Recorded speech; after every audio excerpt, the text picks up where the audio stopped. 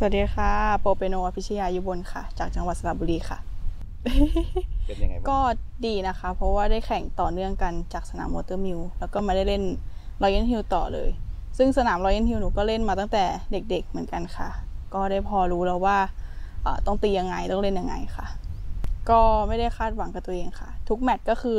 อย่างที่หนูบอกไว้ก็คือพัฒนาฝีมือตัวเองค่ะ ทุกแมตช์เป็นประสบการณ์ค่ะ เพื่อที่จะได้มีความมั่นใจในแมตช์อื่น ๆ ต่อไปเพิ่มขึ้นค่ะอือฮึ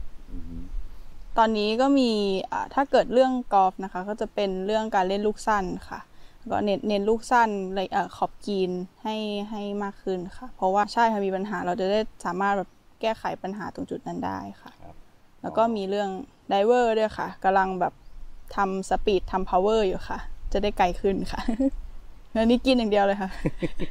ก็ฝากอ่า แฟนๆนักกอล์ฟทุกคนนะคะ เป็นกำลังใจให้กับนักกอล์ฟสาวไทยด้วยค่ะ แมตช์ที่แล้ว Watermill นะคะ ร้อนค่ะ แมตช์นี้รอยันฮิลก็ยังคงร้อนเหมือนเดิมค่ะ แล้วก็แถมภูเขามาด้วยค่ะ ก็จะเดินเหนื่อยกันนิดนึงนะคะนักกีฬา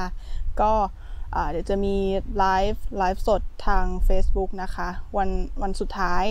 ค่ะ ก็ฝากติดตามแล้วก็ร่วมเชียร์แล้วก็เป็นกำลังใจให้กับนักกอล์ฟสาวไทยทุกคนด้วยค่ะ เชียร์ทุกคนเลยค่ะ สนุกแน่นอนค่ะ ขอบคุณค่ะ